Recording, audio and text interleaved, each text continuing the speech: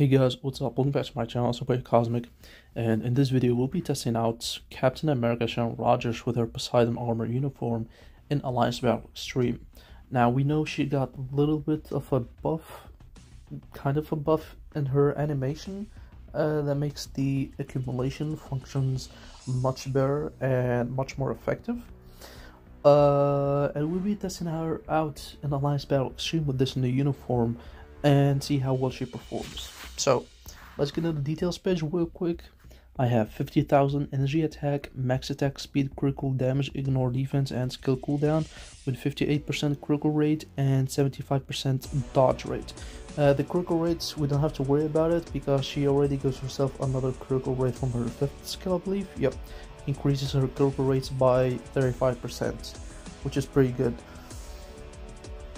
Um, for the gears, I have one Onyx Blessing and about six energy attack Urus, legendary ones, two mythic uh, energy attack Uru, and about two mm, legendary HP Urus, with an extra two legendary critical rate Urus and one mythic critical rate Uru. And I have two extra legendary critical damage Urus to max out her critical damage. Uh, all of her skills are level 6. Well, not all of them, just the third, the fourth, and the fifth skill. The first and the second skill are meaningless. You don't need to upgrade them at all. You can just leave them right there. Uh, for the Titan enhancement, she has a rank 1. The ISO 8 set is stage 6 Hawkeye. I have 6 star artifact with basic damage increase to leadership ability characters, which is useless because we are going against villains and villains tend not to have leadership ability not all of them most of them do not have it.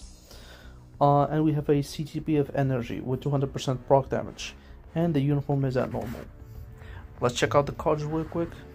I have 81% all attack increase with 40% energy attack increase and an extra 20% energy attack increase proc.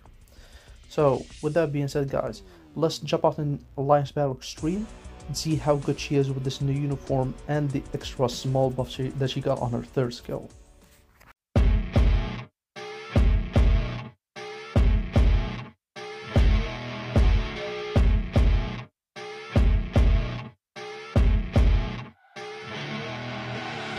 I see her rolling up, Uber black Cadillac High heel boots and a sexy body full of tats Baby's bad, oh baby's hella bad. After her there ain't no coming back. Wanna take a run at that. I think she's feeling me. Turn it up a few degrees. My imagination of her body gets the best of me.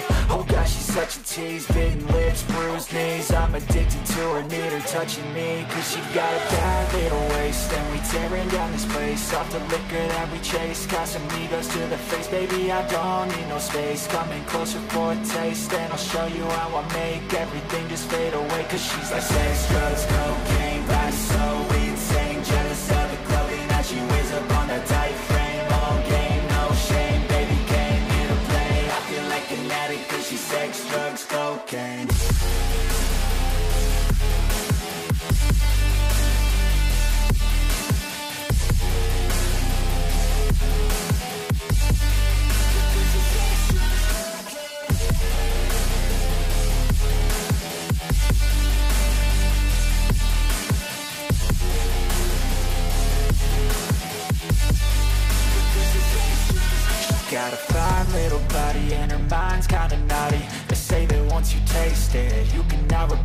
it She could get you high, all the dopamine inside Triggers fast once she's naked, her body's a creation.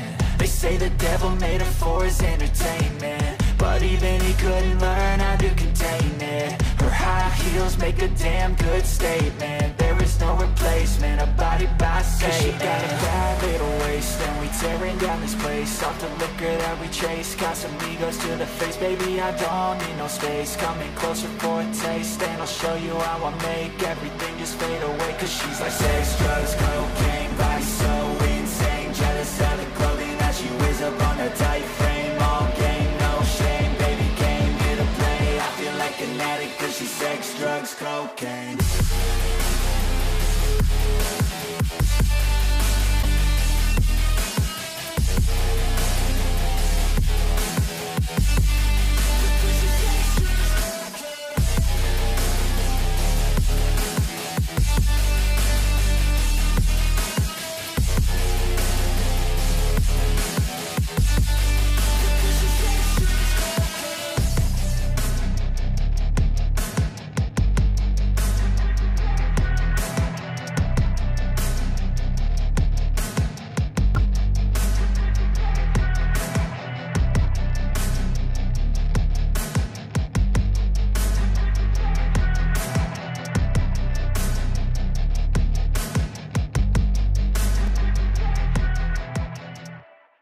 So we were able to get an 8.6 million in Alliance Battle Extreme with Sharon Rogers.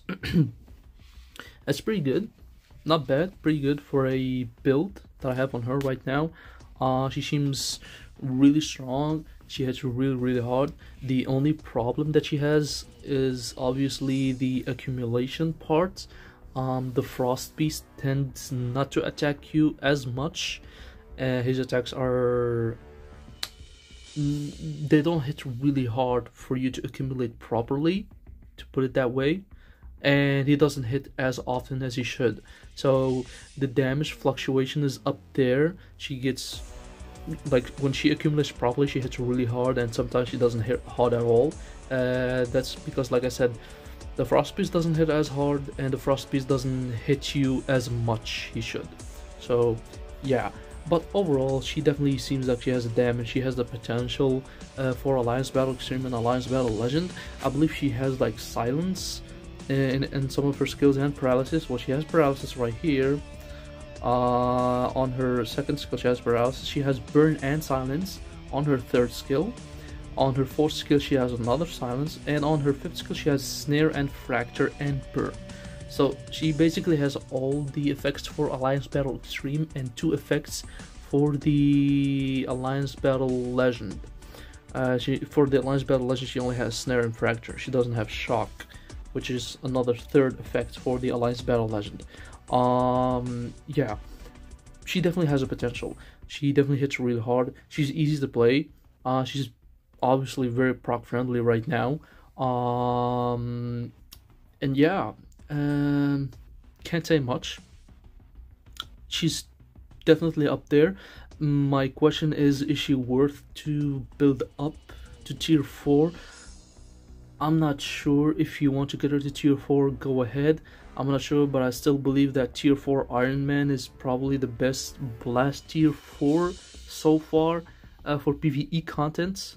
Um, and he has this value where he comes he becomes like a villain from his uh, superior Iron Man uniform and he becomes a hero from his best back to basics uniform. So do with that as you will. Um, yeah, she she definitely hits really hard. She definitely hits really hard. She definitely has a the highest potential, I would say, for a Blast Tier 4. The only problem is that we already have Tier 4 Iron Man. So if you Tier 4 Iron Man, then she's probably not needed. But if you have a tier 4 Iron Man and you want to tier 4 her, then you can go ahead and do it. Me personally, I'll just leave her at level 70. I don't think I need another tier 4 blast type um, at all. Uh, yeah. Again, uh, she's easy to play. She has damage. She has good survivability right now, not like before where she used to struggle a lot in World Boss Legend. But um, overall, uh, she's a powerhouse. She's a powerhouse. She's always been a powerhouse for uh, PVE contents, and I believe that she's going to last in the meta for a very, very long time. So, yeah, that's probably my final thoughts on her build and her performance that I have on her right now uh, with this testings that I've done with her in Alliance Battle Extreme and World Boss Legend, I'll probably probably maybe try her out in Giant Boss Raid Dormammu maybe with at level 70. Maybe she can do really really good at level 70 as well with that accumulation type of thing. So we'll have to wait and see. But yeah. Uh Sharon Rogers. Definitely, definitely probably worthy character to get to tier 3 and get her latest uniform and maybe tier 4 her if you feel like it. So, yeah. We're just gonna wrap this up right you guys. Thank you guys so much for watching. If you guys enjoyed this video, hit the like button, subscribe, and share so it'll help the channel grow. Hit the notification ring bell so you'll miss out on any of the upcoming videos I'll be posting on this channel. Join my Discord server if you wish to discuss with me about the character, uniform, build, rotation, and all that kind of stuff. And I'll see you guys on the next video. Take care. Peace.